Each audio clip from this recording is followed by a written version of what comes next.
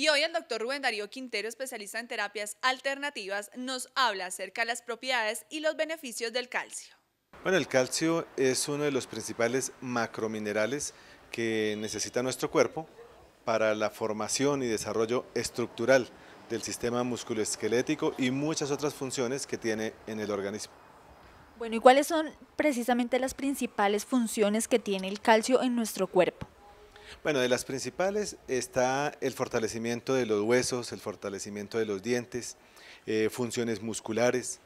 Lo que mucha gente quizá no tiene la información es que el calcio es importante también en la función cardíaca, en la función del músculo cardíaco, del corazón en la coagulación de la sangre, en la circulación arterial y en la transmisión de los impulsos entre las neuronas. Así es que el calcio es de los minerales que más necesitamos en nuestro organismo y hay muchísimas otras funciones más, tales como eh, el mejoramiento o producción de enzimas, eh, funciones dentro del mismo sistema eh, hormonal y bueno, son, es de los minerales que más necesitamos en nuestro organismo. ¿En qué etapas de la vida del ser humano se debe consumir el calcio? Bueno, el calcio es necesario en todas las etapas de la vida. En la primera infancia, por ejemplo, los niños deben tener los requerimientos diarios mínimos para que puedan desarrollarse correctamente. Un niño entre los 3 y 5 años debe tener aproximadamente un consumo diario de 1.300 miligramos de calcio diario. En la medida que se va creciendo, pues vamos a necesitar más. En otras etapas de la vida, por ejemplo, en la quinta década, cuando en las mujeres aparece la menopausia, aproximadamente en estas edades, y lo mismo en, el hombre, que hay cambios hormonales, pues ya el requerimiento es mucho mayor, puede llegar a 2.500 miligramos diarios. Eh, la edad adulta, los, adultos mayores en la vejez, el calcio debe reponerse eh, de acuerdo al gasto que se tenga para que el cuerpo se mantenga eh, siempre activo. Entonces, hay que tener en cuenta que para que el calcio se absorba, debe siempre estar acompañado de la vitamina D. La vitamina D la obtenemos exponiéndonos al sol. Cuando nosotros nos, nos damos un bañito de sol diario, pues se produce la vitamina D y la fijación de calcio va a ser mucho mejor. ¿Cuáles son las principales fuentes de calcio en los alimentos?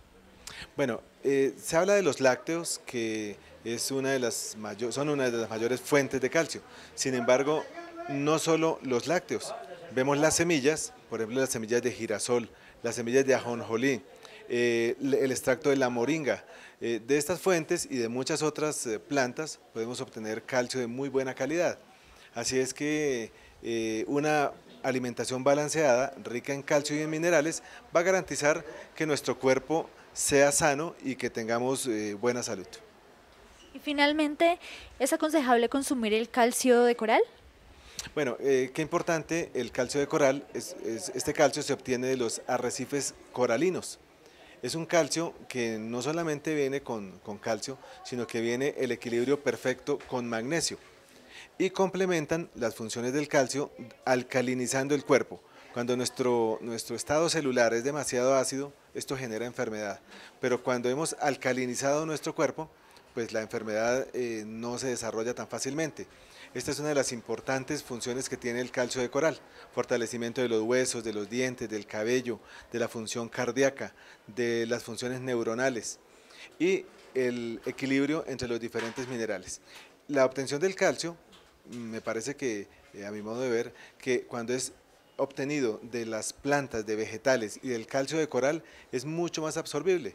A ver, los alimentos que consumimos y que contienen buenas cantidades de calcio, pues lamentablemente se pierde entre el 60 y el 70% del calcio que hemos consumido.